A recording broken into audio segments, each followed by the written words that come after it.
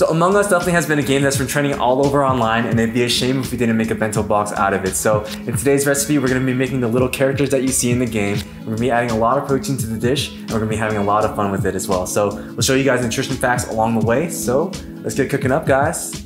So the ingredient list will be down in the description below, so make sure you get everything before you start this recipe. So the first thing that we have to do here is to create the dye that will color our characters when we shape them. Let's start off with the purple cabbage here. Before putting the cabbage into the blender, you want to make sure they're nice and minced as it'll be really hard to extract the color if there are still large chunks. Now place the minced purple cabbage into the blender with half a cup of water and blend till the paste forms. After the paste is formed, put it inside a colander and extract the liquid. You'll end up with this really awesome natural dye that we can use to form the characters in the game.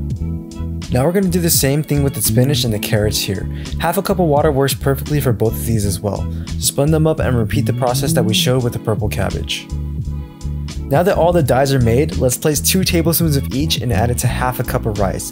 Too much liquid will result in some soggy rice, so make sure you don't overdo it here. Also, too much water will make it super hard to shape into the character, so this step is really important.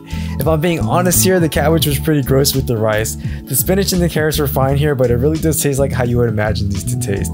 They look cool, but I wouldn't recommend bothering to make these unless you have a bento box channel that's trying to hop on a current trend for the YouTube algorithm.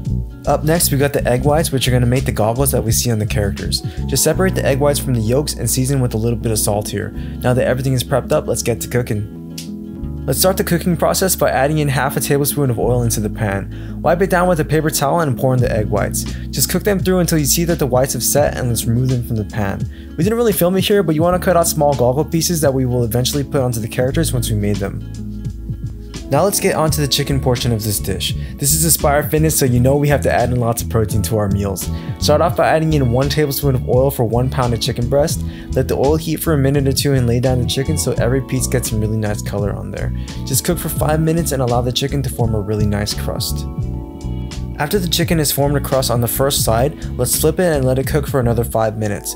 After 5 minutes are up, let's take out the chicken and work with the fond that is formed on the bottom of the pan. To make a really awesome pan sauce here, let's add in 2 tablespoons of mirin, 2 tablespoons of soy sauce, 2 tablespoons of monk fruit sweetener, and 2 tablespoons of garlic. This is a recipe that my mom made up and is a dish that I eat for lunch literally like every day of my life. It's a really great way to get your protein in and it tastes so good. Mom and Pak really knows how to make some really awesome food. Once the pan sauce is made, let's add the chicken back into the pan and let it capture all that delicious sauce that we made here. Cook for another 2 minutes and add in some Thai chilies if you want some spice to this dish. If spice isn't your thing then feel free to take this out. It's a quick process and you end up with this makeshift teriyaki chicken that takes no effort at all to make.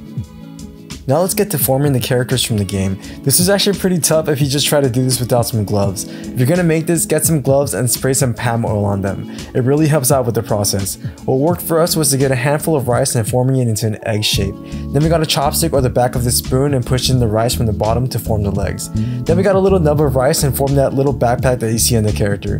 Just place that on the back and you have the base frame of the astronaut. As for the eyes, you just want to cut out a little piece of egg white and put it somewhere on the top.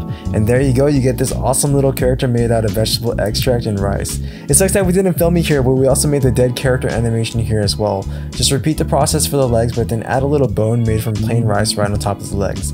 I guess purple was an imposter here all along. Just repeat the process here for the other characters as well, and you should end up with some really awesome characters that actually really look like the game. If you want to be extra like us, and you can add some seaweed to the eyes, you'll end up with a little outline that makes it look even better. I don't think anyone is really going to make the rice, but the chicken was good, so maybe just take that out of today's recipe. And there you guys have it. We have three bento boxes that are high in protein and features these little characters from Among Us. Maybe try out the recipe without the vegetable dye and I think it'll honestly be better. If you want to make the characters however, try it out. Maybe you'll like the spinach, carrot, or cabbage flavored rice. Anyways, I hope you guys liked watching the video. It was really fun to make with my mom. I just want to say thank you to anyone who has been here with us and watched our videos. If you liked the video, feel free to like and subscribe. If you made it for yourself, then make sure to tag us on Instagram or send us an email. Make sure to check out our blog at aspirefitnesswalnut.com and let us know what other types of recipes you guys would like to see. Thanks for watching guys and we hope to see you guys in the next one.